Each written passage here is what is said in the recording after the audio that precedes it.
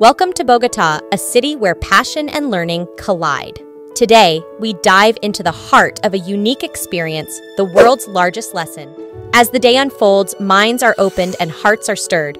Students discover their power to make a difference, fueled by knowledge and guided by the vision of a brighter future.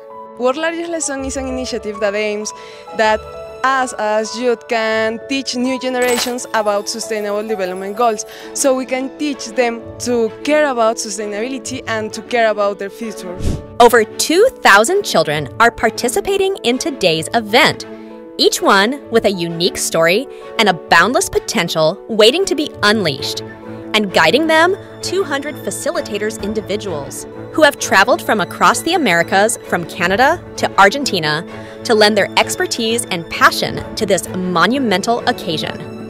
As we bear witness to this extraordinary moment, let us be grateful for the chance to be part of something greater than ourselves. For today, we're not just shaping minds, we're shaping futures, creating a world where every child's dream is within reach.